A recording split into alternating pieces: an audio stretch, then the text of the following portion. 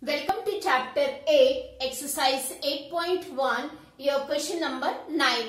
In question number 9, it is asked, find the area bounded by the curve x square is equal to 4y and the line x is equal to 4y minus 2. We know that x square is equal to 4y. देखिए ये आपका parabola है upward.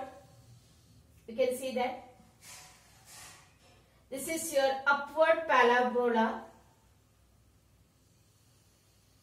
passing through the origin. Now we will find out the point of intersection of the line x is equal to 4y minus 2 and the given curve. You can see here x square is equal to 4y, right? We can keep the value of x which is equal to 4y minus 2.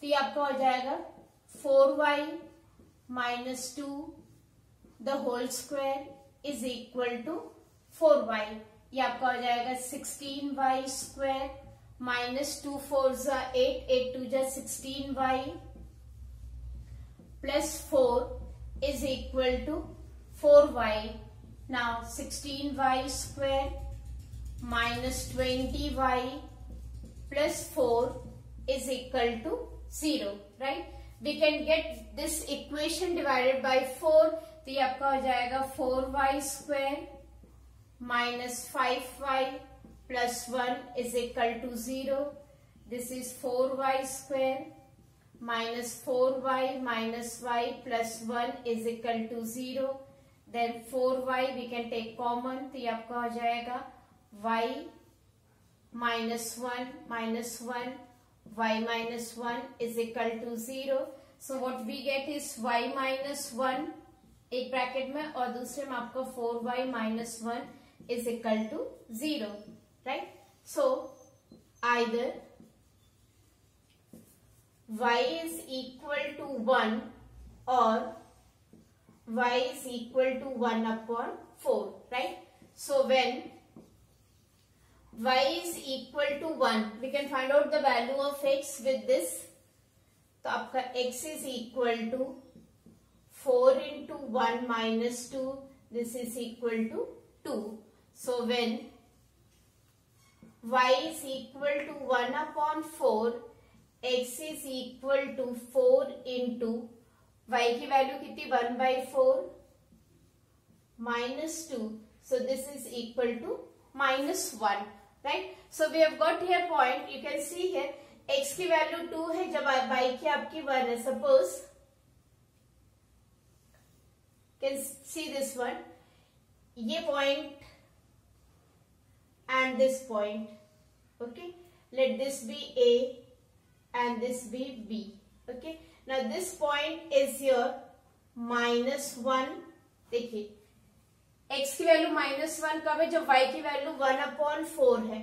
That is one by four and your this value is two when x is equal to two y is equal to one okay so we got here this point of intersection right now this point is your minus one and this is your two okay ये आपका minus one zero हो जाएगा।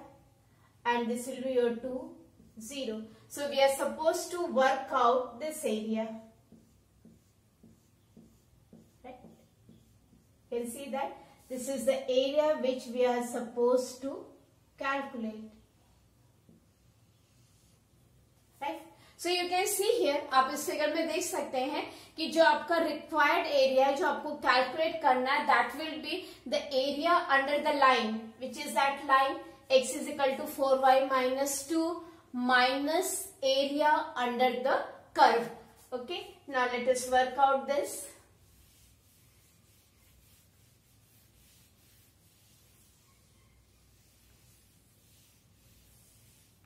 देखिए I am just taking here the rough one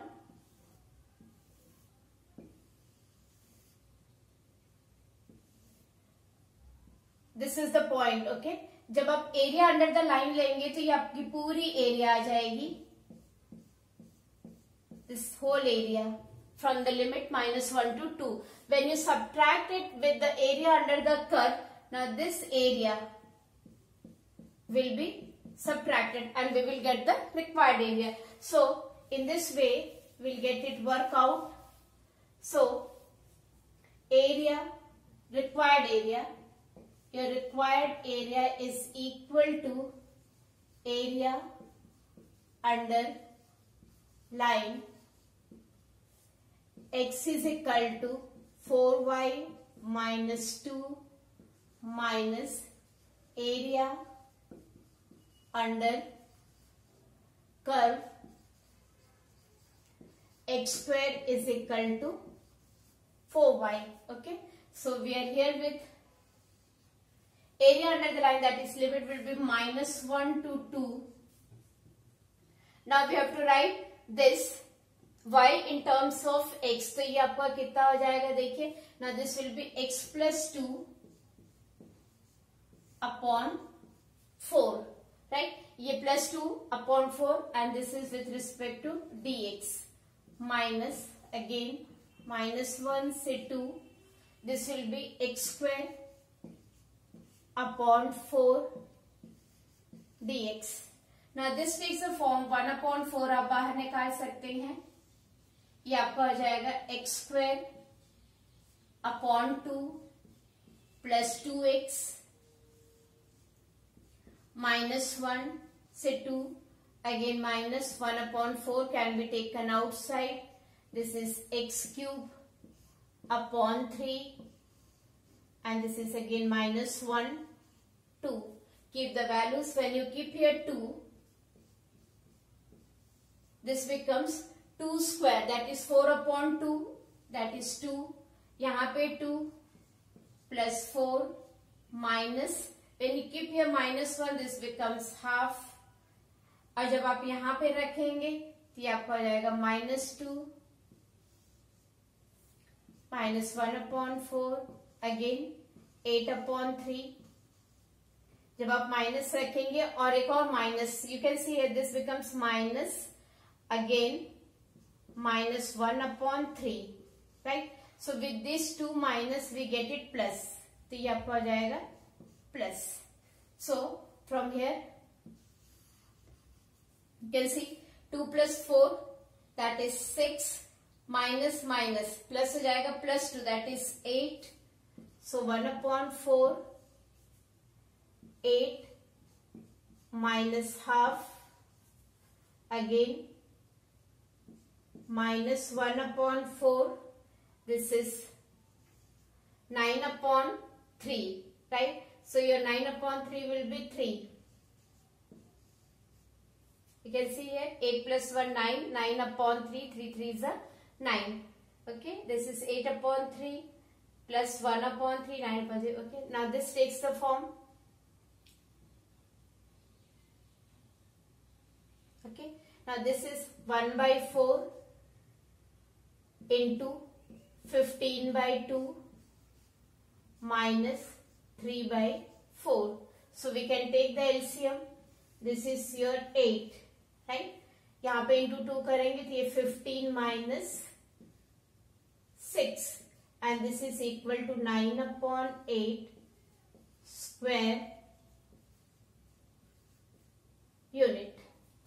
Okay. So your required area is 9 upon 8 square unit. ये आपका y axis this is your origin